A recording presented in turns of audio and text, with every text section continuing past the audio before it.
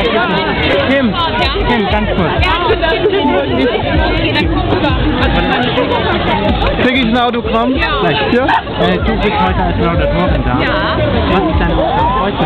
Also meine Aufgabe ist, heute zu erklären, warum ich Adoro so toll finde und den den Zeitpunkt zu erreichen. Wenn ich mal ein bisschen mir Gedanken darüber machen, wie es normalerweise klingt, wenn Männer sonst